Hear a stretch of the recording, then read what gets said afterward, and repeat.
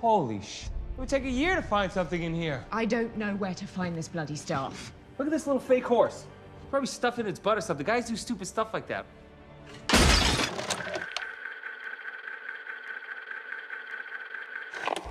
A couple months ago, I stated that Age of Extinction is where the Transformers franchise finally hit rock bottom. But what I'm here to state today is that the point where the franchise began digging into the ground to destroy itself for good is 2017's The Last Knight. That? That was a mistake. The best way to describe The Last Knight is that it's basically Age of Extinction, but worse. As in, a couple variables aside, it's mostly the same interchangeable movie. We enter a world where the Transformers are hunted by the government and follow our Texas hero Cade Yeager as he goes on a fugitive journey with Autobots through deserts and alien spaceships to stop this Transformers MacGuffin from turning the Earth into something Transformers related. Or as a metaphorical example of this, we get the exact same product of Michael Bay Triple B filmmaking, only this time one of those bees being a bit different.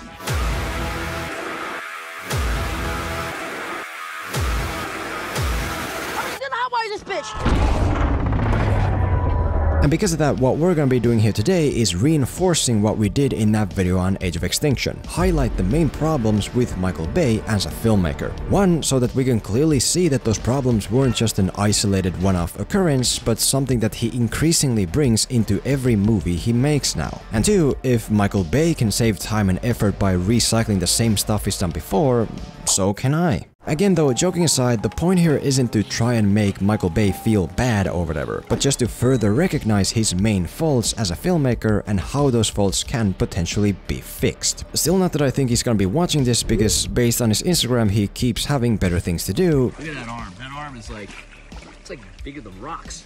Look at him, give you the hero shot. but just hopefully if we force this into the universe, the universe will... Uh, the universe will be forced to do something about it. And so here once again are the main problems with Michael Bay as a filmmaker and how those problems manifest themselves in The Last Knight. Here is how Michael Bay's inner demons in 10 years grew so strong that they ended up destroying and dismantling the entire Transformers franchise.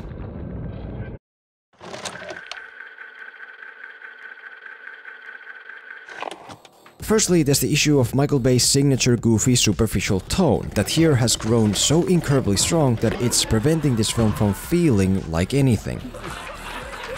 On one side, this means that pretty much every character in here is the exact same character, the absurdly goofy comic relief. Whether it's a little goofy kid, I'm just gonna this bitch! or a random goofy guy, not taxpaying Americans. Not that I pay taxes, but or a bunch of goofy old ladies. This one's looking for a BBW. I don't know what that is. It's a car, dear.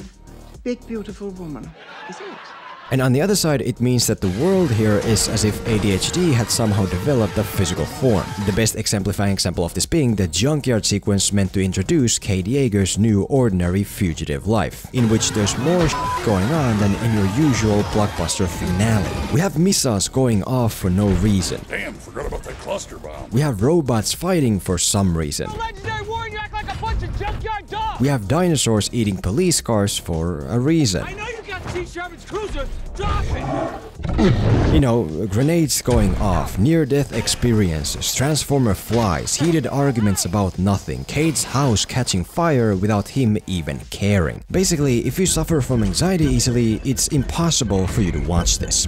And as I said last time, neither of these sides is anything new to Michael Bay, because he knows he makes movies for kids and so wants those movies to be fun, and that's fine. But the issue is that this goofy fun mentality has grown so much that it's become actual poison to what his movies are doing. On the world side, it straight up ruins the emotions that these scenes and situations are built on. In a later junkyard scene, for example, we have this highly emotional beat where Cade calls his daughter Tessa that he as a fugitive has had to leave behind which is emotionally crippled by the fact that Michael Bay just had to have big robots cracking jokes right there beside him.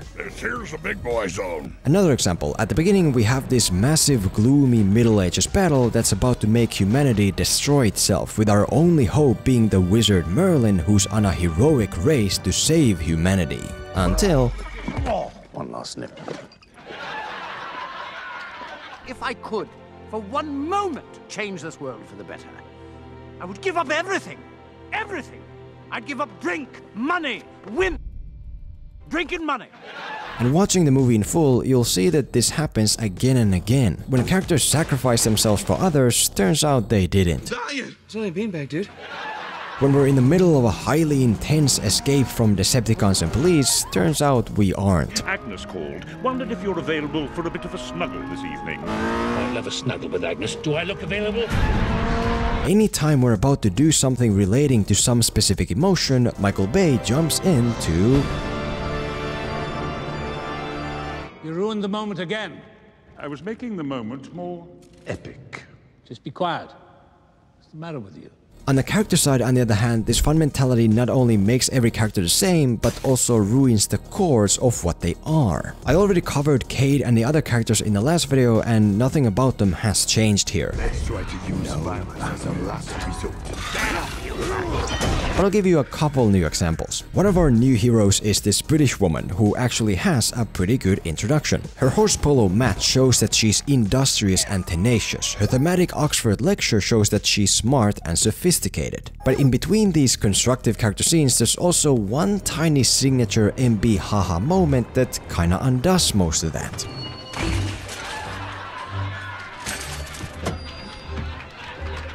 It might not seem like a big deal on the surface, but the reason this joke of the British woman bumping into the bikes is so harmful is because it consciously makes us think less of her. Suddenly, when we're watching the woman introduce the movie's emotion-based theme, we don't take her or that theme seriously, because we just saw she can't even drive a car. And I genuinely don't understand why this joke has to be here. Like, was it really so funny that it was worth doing at the cost of putting your new hero down and making us view her as just another comic relief goofball. Or take the character of Anthony Hopkins, a comic relief so goofy it quickly grows to the point of utter nonsense. I mean, Battle of the Marne, Battle of the Somme, Battle of the Marne, Battle of Passchendaele, trenches, and it's a long way to Tipperary, it's a long way to go. No, but um, it's, um, it's terrible. I mean, it's so sad, you know, but I mean... What's going on here? Well, after two hours of quirky, nonsensical goofiness, Anthony Hopkins finally at the end gets a chance to reveal his actually emotional core, when he sacrifices himself in order to give humanity a fighting chance, in a moment of purpose he's been waiting for for years. I had it, Cogman. Ah, I had my moment. But then, just before this highly emotional moment finishes, Of all the earls I have had the pleasure to serve, you are by far the coolest. Right, we just had to throw in one last ironic teenage haha about this distinguished old British knight being cool. And it's like, was it really necessary? Couldn't you just this once let this character have his dignity without turning it into something juvenile? Maybe it's not a big issue on its own, but when this is the norm that happens again and again and again, a big issue is what it becomes. And that's what I... Uh, yeah. Yeah.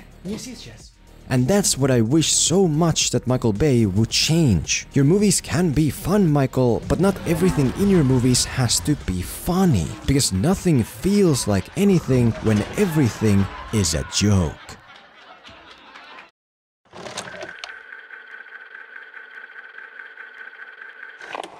Secondly, as Michael Bay's clout has grown, so has his tendency to do whatever he wants with plot and characters, regardless of whether it makes any sense or breaks the whole experience. On the plot side, not even touching on the fact that in every movie there seems to be a new discovered reason and time period that Transformers have arrived on Earth, you'll notice that the plot here is basically a middle finger to most of what we did a couple years ago. The whole point of the fourth entry was to stop a section of government from hunting Transformers regardless of side, and for Cade Yeager to get his life back after becoming a fugitive. Well, guess what? Where are the others? The ones you're hiding. Hey, the military doesn't want it this way, B. You gotta believe that. It's a new world order now, and these guys are calling the shots. Whose side are you on? They're all bad. Right, there's a section of government hunting Transformers regardless of side, and Cade is once again a fugitive. Kinda nullifies most of Age of Extinction, but this is what Michael Bay wants to do now, so whatever. We don't have a home, Dad. He blew up. I might be able to help you with that.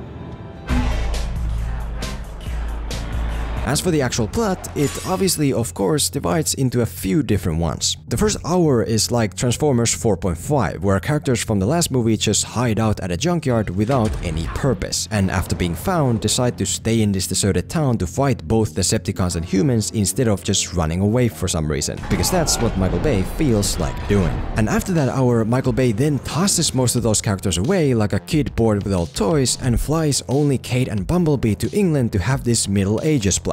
A plot that involves a MacGuffin without a clear established power, as well as ancient evils approaching both from the ground and space to the point where it's not sure which villain we're supposed to fight in this movie and which in the next. And then there's also a massive endgame finale, which I'll say does handle visual scale very well plus a couple more other subplots. So, you know, your basic 4 to 5 full movies crammed into one, which I already talked about in the last video. On the character side, the crux is the same. Remember how at the end of Age of Extinction, Optimus Prime left on this heroic mission so that the Earth can be safe? Well... Without leaders, chaos reigns. Oh, what we would all give to have Prime back right now. Remember all that stuff about humans gathering precious Transformer metal to build their own Transformers and Megatron being reincarnated as Galvatron with his new manufactured army? Well, Michael Bay clearly didn't because that army and technology is now just gone and even Galvatron is Megatron again, except not the Megatron from the earlier movies somehow, which mainly just makes you confused as to how some stuff has been rebooted while other hasn't. But again, that's what MB felt like doing this time, so whatever. We are not rebooting Megatron. Not letting him out, no. What? I mean, you know, I mean, we can be flexible. And the same goes on and on. We have Stanley Tucci playing Merlin, which is quite weird because he played the tech CEO in the last movie. But I guess it's a nod that he's Merlin's descendant, so makes sense. Until it then turns out that Merlin Stanley Tucci's descendant isn't actually Stanley Tucci, but instead this new British woman who seemingly has no ties to Stanley Tucci whatsoever. And so apparently Stanley Tucci plays Merlin just because Michael Bay felt like casting Stanley Tucci, regardless of how confusing it might get. Whatever. We have robots who get shot on sight for being robots, and at the same time other robots who get locked in prison for robbing banks. In for bank robbery. We have Hound staying behind to die for no real reason other than it looks cool, until he magically then returns at the end as if the movie suddenly just changed its mind about his death. We have a brainwashed Optimus Prime showing up for 5 minutes toward the end to fight Bumblebee, who then at the last moment snaps him out of it with this really emotional character beat.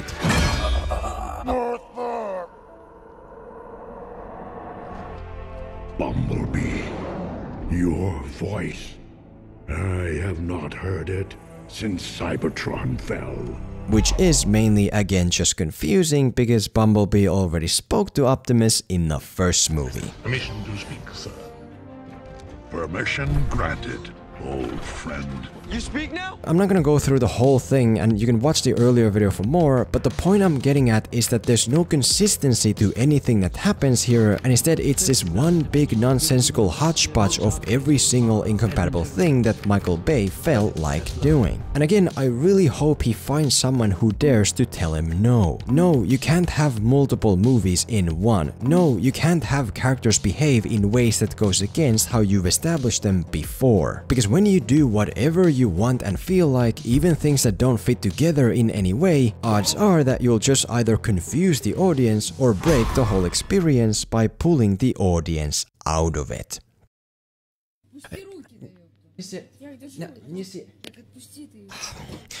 Sorry guys, it's my girlfriend has this thing she really wants me to buy and I'll just do it now out of the way, whatever. Won't take long guys, I'll just go and... Oh fucking Christ, I have to get my... I have to go find my credit card info. God damn it, this is gonna take a while guys, sorry. Actually, hold on, I should have it stored up here. Yeah, yeah. So if I try now, it should autofill all of it for me, right? There we go. Problem solved. Oh, and because I'm sure you're wondering now, I'm using NordPass to store all my logins and credit card info so I can just have all of it autofill for me when I'm logging into places or buying stuff. I'm really bad with remembering passwords and usernames and all that stuff across all these different websites, so this makes life a lot easier. And that's pretty random actually, because NordPass is actually sponsoring today's video with a nice Filmento premium winter sale of 70% off with one extra month for free. So if you're tired of forgetting and reacquiring your passwords or having to manually manually fill up logins and payment details, click the link below and you'll only have to worry about logging into one place. A place that keeps everything safely encrypted and organized across all your devices and this way saves a bunch of time. So anyway, what was I saying? Oh yeah, yeah, I, I do have a real girlfriend.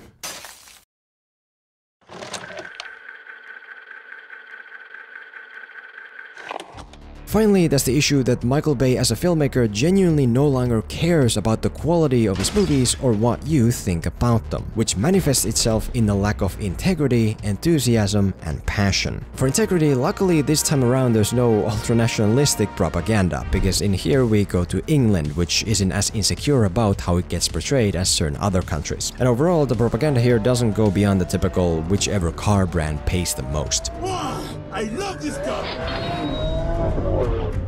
What bitchin' car she is. What you will notice about The Last Knight, however, is that it was very eager to capitalize on the female empowerment movement that was ramping up at the time with Wonder Woman. We have this young, strong orphan character Isabella who is initially given center stage. She's our introductory anchor into this world, and she even got her own full dedicated trailer that promised a very specific type of movie.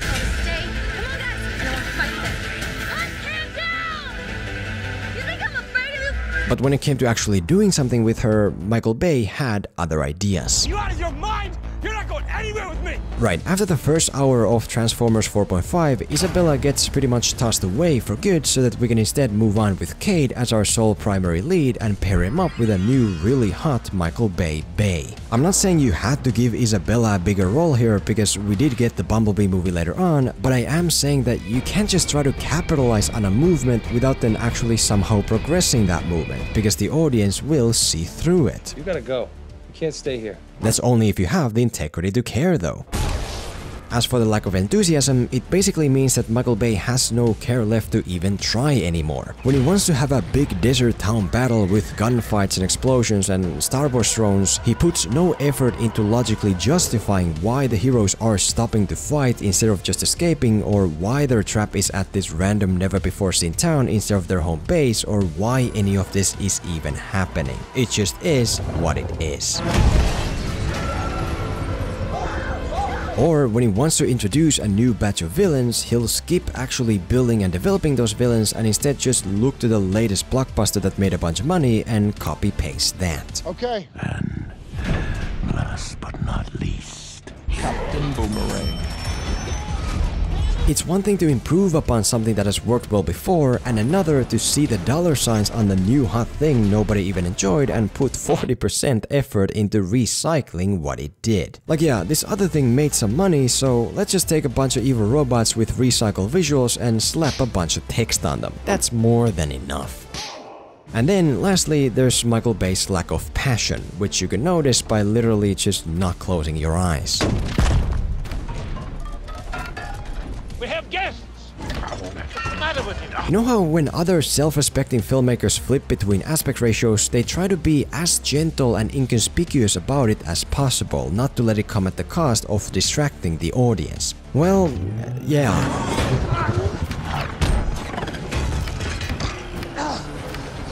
Michael Bay doesn't care about your distraction, he doesn't care about your headache. If he happened to film 20 shots in 20 different aspect ratios, you can be sure he's gonna use every single one. Like whether it's making frames incompatible, whether it's leaving extra stuff in the frames, despite all the loud criticism he gets, Michael Bay has no filmmaking passion left to give a and again, I really genuinely hope he learns to listen and changes from that. Because for the first time in a long time, his untreated issues have finally begun to catch up with him. Whether that change actually ever happens, that's up to the universe or I guess Mr. Bayhem himself to decide. Although honestly, at this point, I'm not so sure which of them will be easier to convince.